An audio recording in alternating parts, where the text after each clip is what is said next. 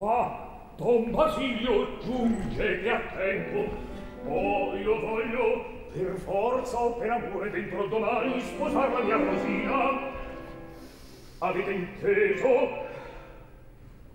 Eh, voi dite benissimo, e appunto qui veniva ad avvisarvi la segretezza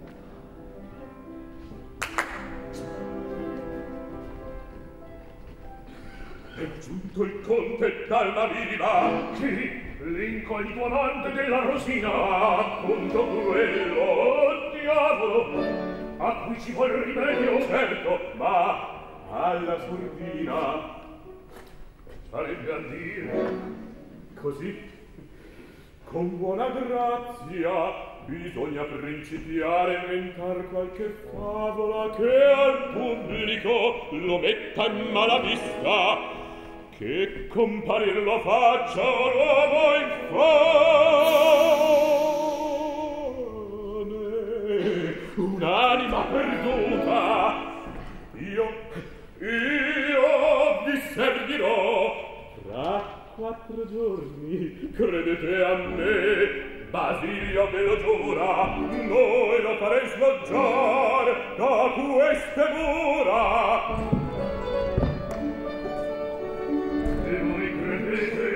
cerco, cerco, e il mio sistema e non sbaglia.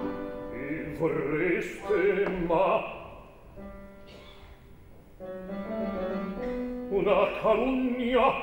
Ah, dunque, la calunnia cos'è? Voi non sapete, no, davvero, no! Uditemi!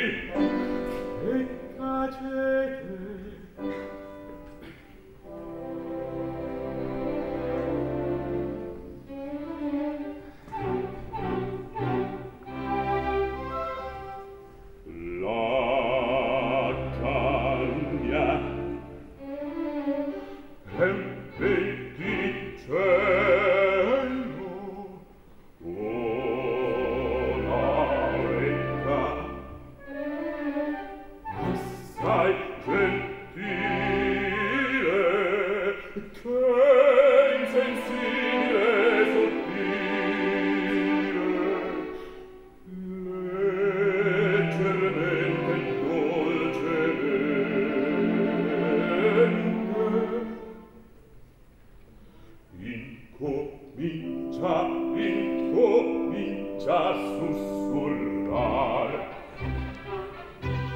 Piano, piano, terra, terra, sotto voce, silbilano, ascorrendo, ascorrendo, la lontana, la lontana, solo nell'orecchie della gente. Filtro mute, filtro luce testamente e le teste di cervelli e le teste di cervelli. Fa tornire, fa tornire, fa tornire, fa doppiare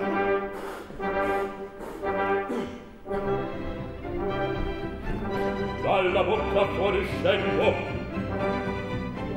Lo schiamazzo va crescendo prende forza poco poco ora calilo bello vero sembra il cuore la tempesta che encende la foresta battiando brontolando e di cuore non celare alla piccola che scoppia si propaga scherma doppia e produce un'esplosione come un colpo di cannone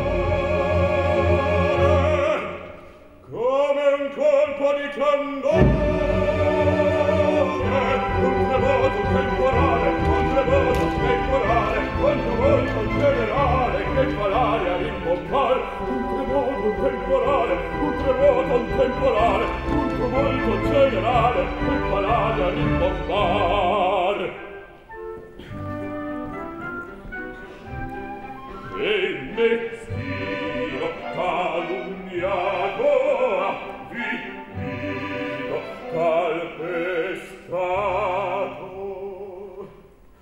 sotto il pubblico casello per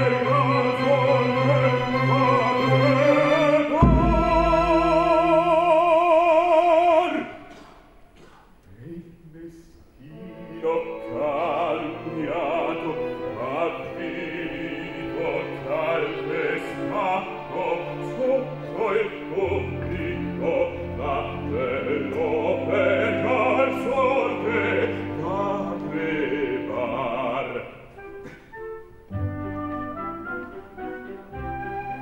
Celestino calunniato adivito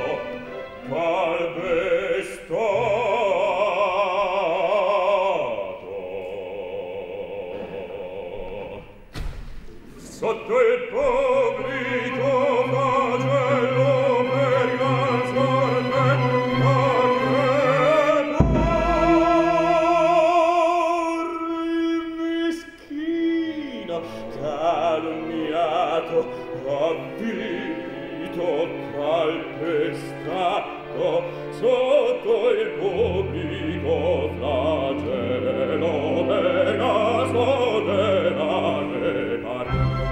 pubblico flagello per la sorte va crepar contro il pubblico flagello per la sorte va crepar ti va crepar